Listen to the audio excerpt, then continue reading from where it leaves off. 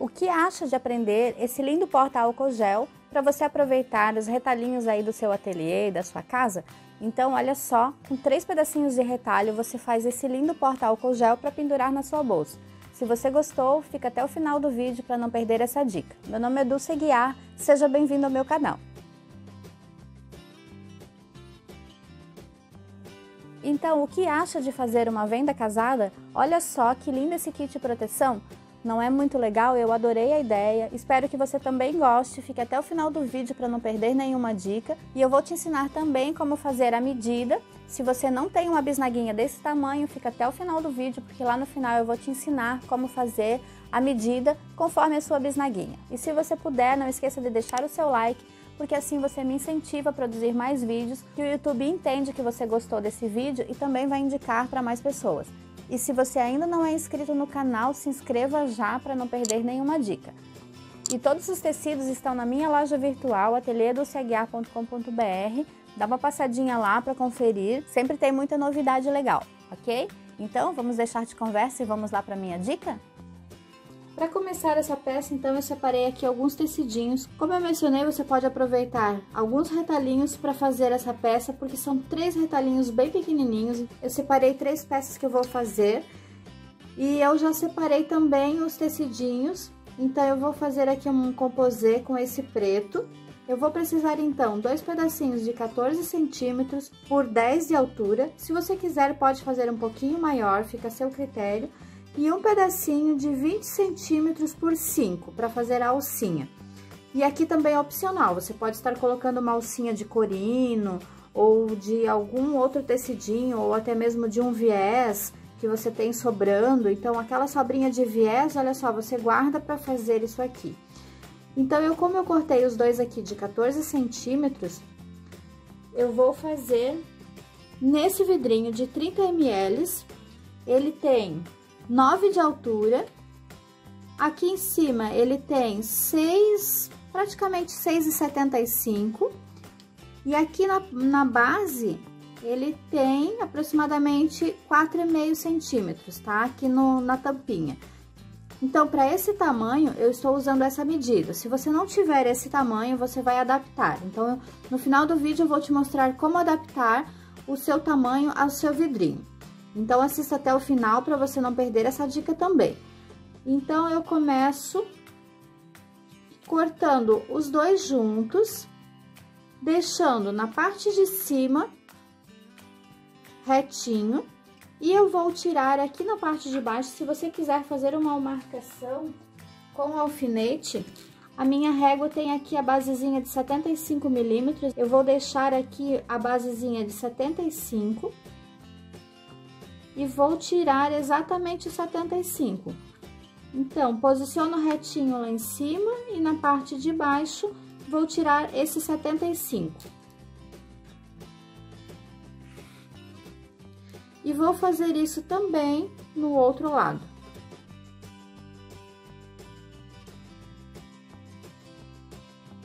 Coloco retinho aqui na parte de cima e lá na parte de baixo tiro 75 milímetros.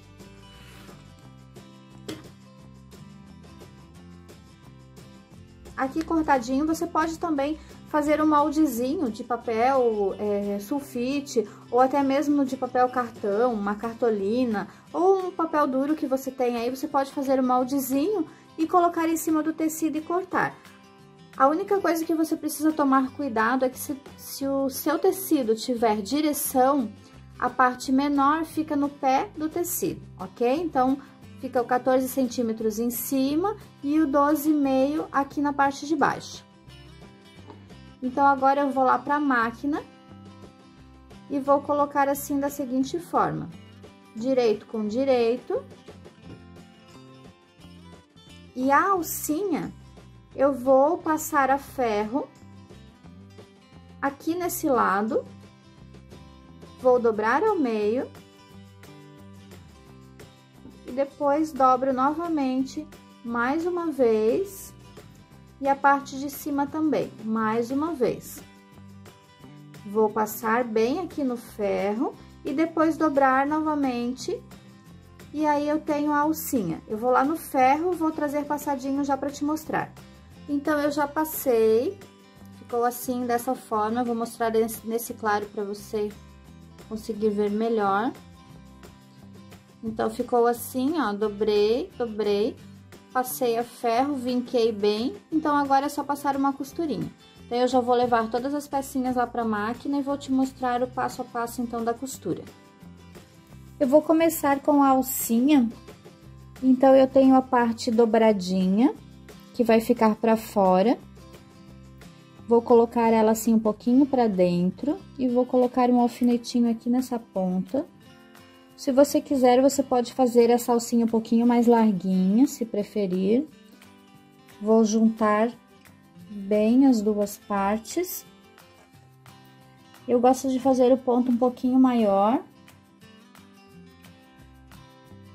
Eu vou fazer a costura um pouco mais na ponta, aproximadamente uns 2 milímetros. Mas se você se sentir mais segura seguindo aqui o calcador, pode seguir tranquilamente.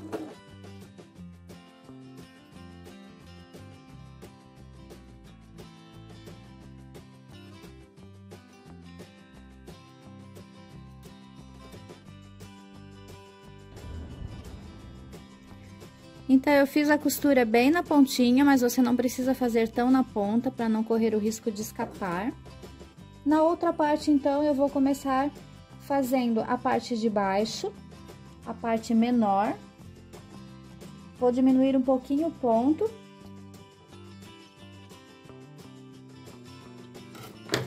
Fiz a costura na parte de baixo, vou abrir e eu gosto de abrir aqui a margem de costura. E agora dobro ao meio novamente. E vou juntar aqui as duas costuras bem certinho, vou colocar um alfinete. Então, coloco um alfinete bem no meio, espetei os dois. Se você ver que não encaixou, você vem aqui novamente onde estava o alfinete, coloca bem no meio e depois sobe o alfinete saindo aqui no meio novamente.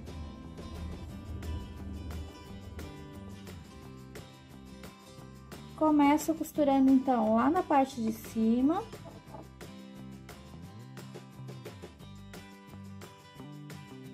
Termino sempre arrematando no começo e no final.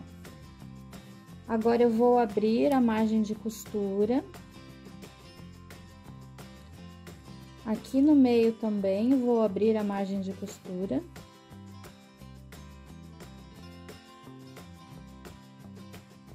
E vou puxar aqui, ó, dobro. Por que que eu faço isso aqui? Para depois aqui na virada ele não ficar muito grosso, tá? Puxo segurando bem aqui na, na junção dos dois tecidos e aqui eu já ajusto bem. Ó, ajustei bem rente com a costura. E agora, aqui na parte superior, é só fazer uma dobrinha. Dobrando a parte externa primeiro, e aí eu já vou com a unha vincando aqui, ó se você quiser, pode ir lá no ferro também e fazer esse acabamento passando lá no ferro, porque daí ele já fica bem vincado. Eu puxo um pouquinho a parte de fora e dobro aqui a parte de dentro também. Abro a margem de costura, dobro.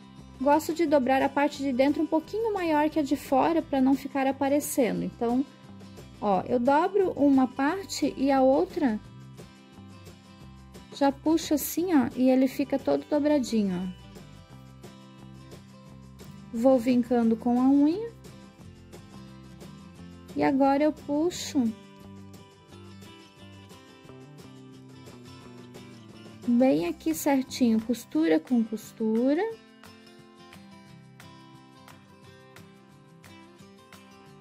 Eu já coloco um alfinetinho aqui para segurar. E agora vou acertando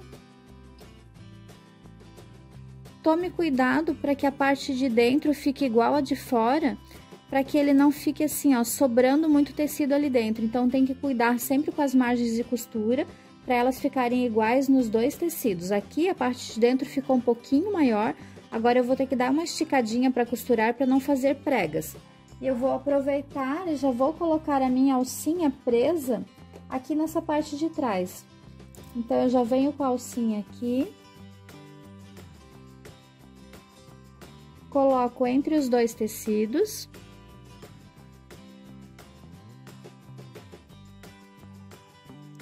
Já começo aqui pela alcinha. Vou aumentar um pouquinho o ponto também. Vou costurar bem na pontinha. E aqui, para ficar mais fácil, vou com a ajuda do meu abridor de pontos ou de um agulhão, eu vou ajustando bem.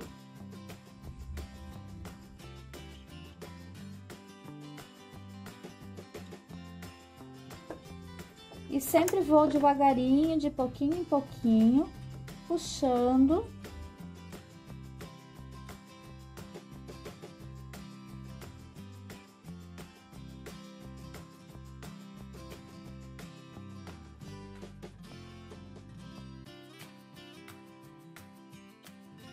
E aqui, então, está praticamente pronto. Agora é só pregar um botãozinho aqui. E aí, ele está pronto. Caso você queira fazer que ele fique fixo no, no teu vidrinho, eu fiz para você poder trocar. Se você não quiser fazer a troca, você pode colocar aqui.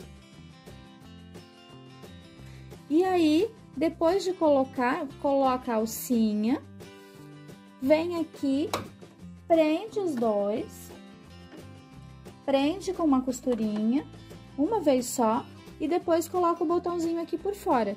Então, ou então, você coloca o botãozinho aqui nessa parte e depois vem e prende assim dessa forma. Então, esse aqui eu, eu gosto de deixar assim aberto porque você pode fazer a troca. Fazer ele combinando com a sua máscara e aí já te mostro como faz para pregar o botãozinho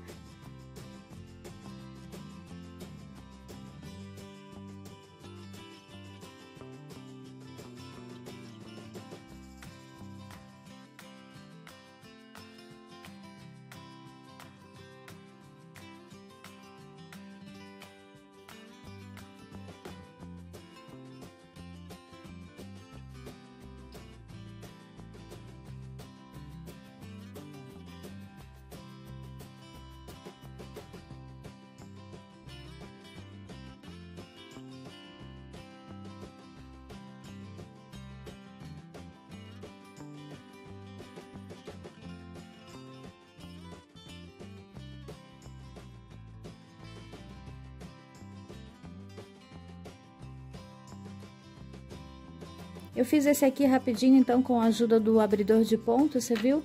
Você posicionando ele bem ali dentro, vai puxando bem rapidinho, você consegue fazer, fica bem legal. Então, agora é só colocar o botãozinho e tem mais um finalizado. Então, eu vou colocar os botões. Então, eu vou começar colocando esse botão Ritas, que é aquele botãozinho de plástico. Então, eu vou colocar aqui no pretinho. Somente então nessa parte aqui, na parte de fora, também se você quiser fazer para que ele não saia, você pode estar colocando os dois juntos. Como eu quero ficar que ele fique livre para você poder optar de trocar, então eu vou colocar somente nessa parte aqui. Então eu vou tirar, vou deixar sem sem a bisnaguinha para ficar mais fácil. Essa matriz do botão Ritas vem com duas partes, uma para a parte menor e outra para a parte maior do botão. Eu uso somente uma parte, a parte maior eu uso para os dois. Então, coloco a parte da abertura para cima e o encaixezinho para baixo.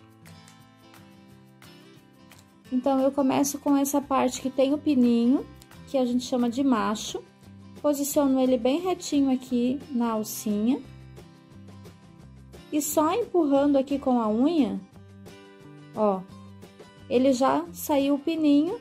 Eu venho então ou com a parte menor ou com a maior, como você achar melhor. Eu gosto de colocar a parte menor aqui em cima. coloco, posiciono ali e agora é só apertar. E aí, venho na outra parte.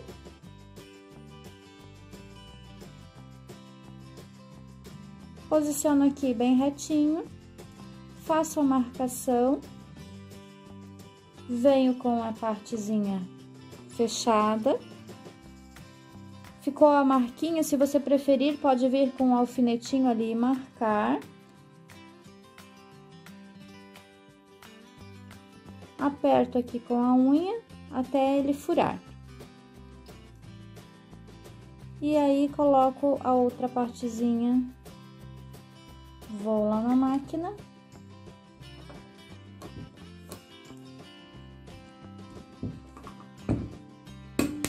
E aperto até ele ficar bem preso, para que não solte.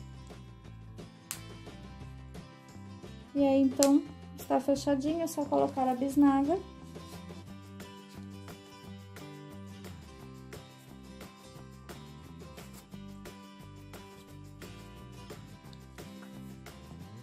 E assim você pode, então, prender na bolsa, levar assim na mão também, ou colocar no seu bolso, no seu cinto, na sua presilha da calça, para você estar sempre protegida aonde você for.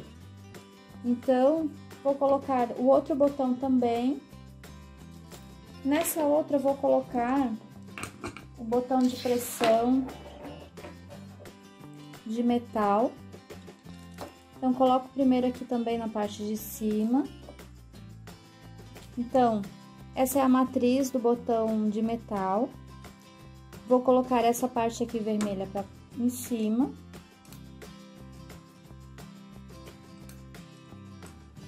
e a parte da mola, então, aqui na parte de baixo. Aperto bem. O pininho macho vai em cima.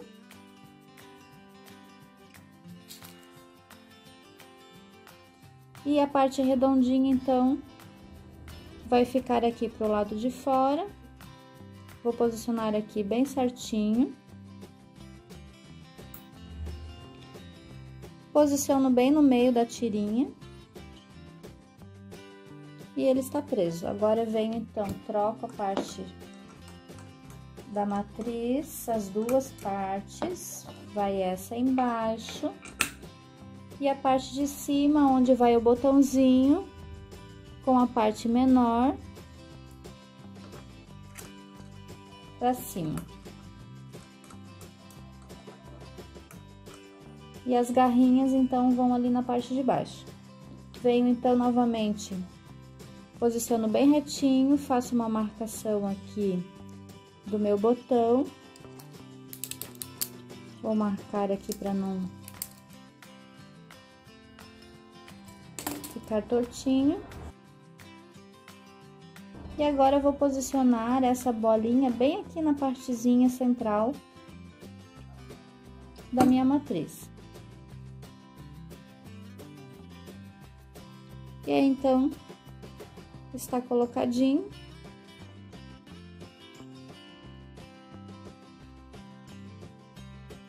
E aí, então, ela está pronta. E vou te dar a dica, então, de como você calcula o tamanho para ficar assim, bem certinho, para você poder fazer no tamanho que você quiser. Então, agora eu vou te mostrar como tirar as medidas para que você faça no tamanho que você tiver. Se você não tem um desse tamanho, então você vai fazer o seguinte: vai medir aqui a sua base principal. Então, essa minha, bem justinho, ela tem 11,5. Então, eu vou deixar um centímetro a mais, que seria 12,5, para que ele fique bem justinho. E na altura, você vai medir a sua base no caso, a minha aqui, ela tem 7 de altura, eu deixei com 10, 3 centímetros a mais.